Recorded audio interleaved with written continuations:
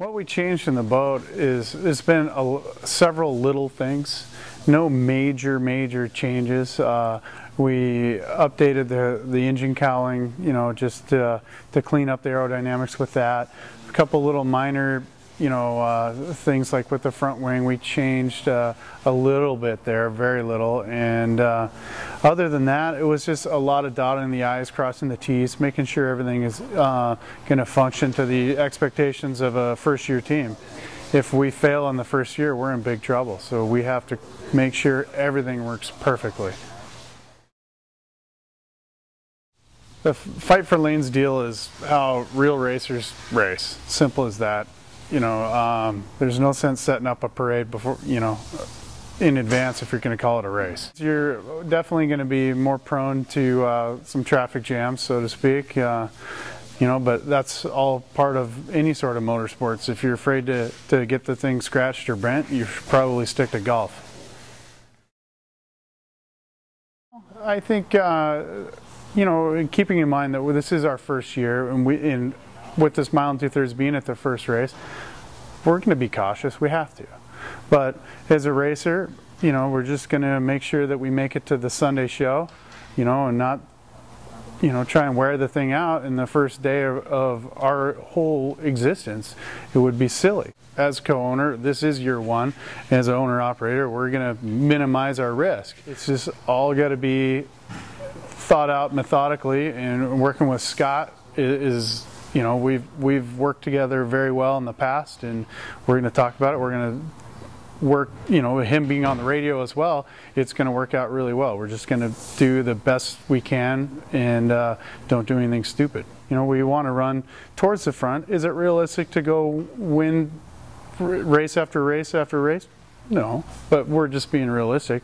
And, you know, we may surprise ourselves in a positive way. We might really surprise ourselves in a negative way. We don't know. Um, you know, this is, everything is new to us here. And, uh, you know, it's, it's just really difficult to say. I'm not going to say we're going to go kick anyone's ass. Most of the guys like Mike and Jeff and, and uh, Perkins and, and myself that are racing a lot of other stuff, you know, on the off weekends, I think that is a big advantage, you know, and then you got the old guys that, uh, you know, open up the, bar, the bottle of Geritol and they don't want to run any more than they have to. You know, yeah, there's been some obvious tension between our organization and the organization we were once with, but it doesn't matter. If we spend too much time focusing on that, that's not going to accomplish anything. That's not going to get the job done. And that's not going to represent our sponsors. That's not going to help us win races. We're going to just keep our nose to the grindstone. We don't care what anybody else is up to. And we're going to go race everybody just as hard as we can. And in the end, we're still going to be in business for next year and this next year after that and for here on out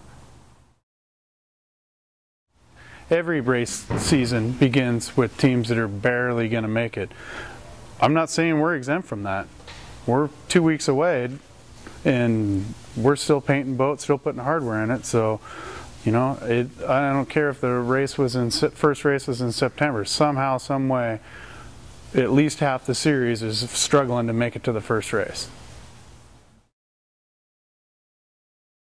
The sport is uh, you know, it's been on life support several different times since I've been involved in the sport. I've been involved in, in unlimited racing since, you know, as a crew guy since 95. And it was good and it was on its downhill and then it was real bad and then it started getting better and then, it, you know, it's been up and down. But well, now we're starting to race internationally and uh, getting some more recognition through uh, uh, the marketing companies involved with the series and, uh, you know, just getting more corporate interest in the sport, I think it's definitely on the positive. Peters May has been pretty amazing. Uh, I mean, they've been so helpful and in, uh, just everything they've done for our organization. And you know, if you look at the broad spectrum of, of boat racing in general, you know, they've got their name in most every series you can think of that floats. And uh, you know, they're doing their best to market their brand. And five years ago, three years ago, I didn't know what Peters and May was, and nor did anybody that I'd raced with. Now I'm pretty sure most everybody does. So, um, you know, they're being a great help to our organization, and now it's our turn to repay and, and do a great job for them.